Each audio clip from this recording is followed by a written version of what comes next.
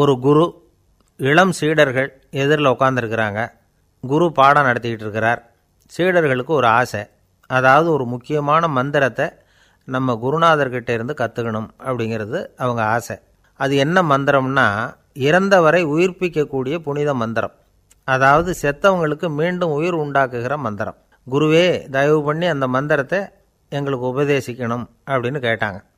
அது ரொம்ப ஆபத்தானது. அது என்னத்துக்கு உங்களுக்கு? வேண்டாமேன்னாராம் குரு. எங்களுடைய நம்பிக்கை வந்து உறுதிப்படுறதுக்காக தான் கேட்குறோம். வேற ஒன்றும் இல்லை அப்படின்னு நாங்களாம் சீடர்கள். பக்குவப்படாத அறிவுங்கிறது ரொம்ப ஆபத்தானது அப்படின்னாராம் குரு. இது சீடர்களுக்கு புரியல. அது எப்படிங்க? பக்குவப்படாத அறிவு ஆபத்தானதுன்னு சொல்கிறீங்க அப்படின்னா என்ன அப்படின்னு கேட்டிருக்காங்க சீடர்கள். குரு அதுக்கு விளக்கம் கொடுத்தாராம். அந்த மந்திரத்தை எப்போ பயன்படுத்தணுங்கிறது முக்கியம்.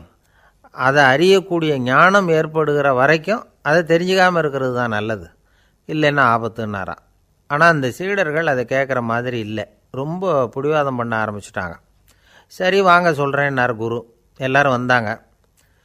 அந்த புனித மந்திரத்தை அவங்களுக்கு ரகசியமாக உபதேசம் பண்ணார். உபதேசம் பண்ணிவிட்டு அவங்களுக்கு எச்சரிக்கையும் கொடுத்தார்.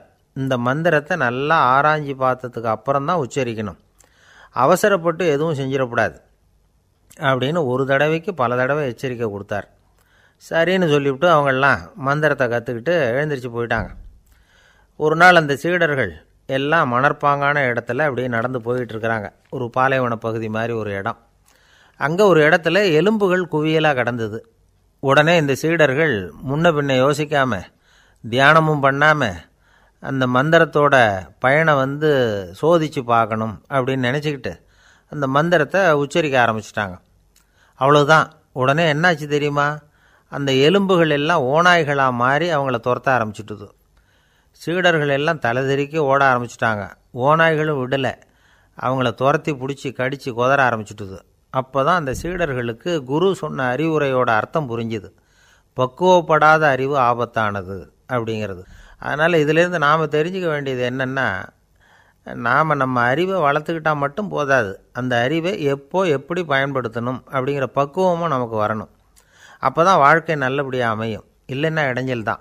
இந்த காலத்தில் சில சின்ன பிள்ளைங்களுக்கே அறிவு ரொம்ப பக்குவப்பட்டிருக்குங்கிறத உணர முடியுது.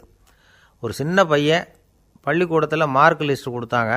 வாங்கிக்கிட்டு அவசரமாக வீட்டுக்கு ஓடினான் எதிரில் வந்த ஒருத்தர் கேட்டார் என்ன அவசரம்? ஏன் இப்படி வேகமாக ஓடுறேன்னார்? எங்கள் அம்மா கிட்ட அடி வாங்கணும் அதுக்காக தான் ஓடுறேன்னா. அடி வாங்கிறதுக்காக இவ்வளவு அவசரம்னார் அவர். அப்படி இல்லைங்க. நான் போகிறதுக்குள்ளே எங்கள் அப்பா வீட்டுக்கு வந்துட்டாருன்னா அவர்கிட்ட அடி வாங்க வேண்டியிருக்கும். அதை அவாய்ட் பண்ணுறதுக்காக இப்படி ஓடுறேன் அப்படின்னு நானும் அந்த பையன்.